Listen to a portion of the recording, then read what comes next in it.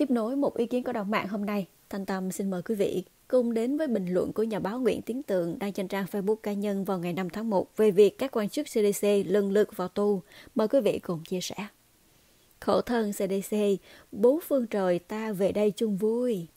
Khổ thân anh CDC Bình Phước, chưa kịp trả quà về Á thì đã bị Bộ Công an niêm phong, mai mốt đổi thành lịch. Anh CDC nước nghệ, hôm trước nói như thần sấm hôm sau xe đưa anh tôi đi trong triều vắng. Nước Huế, nước Quảng Bình cũng tuyên bố hùng hồn lắm, rồi Phú Yên rồi tới An Giang Đồng Tháp. Anh nào nhúc nhích sớm thì được bế sớm, ngang Squid Game. Tại T16 Bộ Công an năm nay đã trở thành dễ trở thành ngày hội vui xuân của CDC 63 tỉnh thành quá. Bốn phương trời, ta về đây chung vui, không phân chia giọng nói tiếng cười. Tất nhiên, ban nhạc giao hưởng này cần vị nhạc trưởng tài ba thì mới du dương được.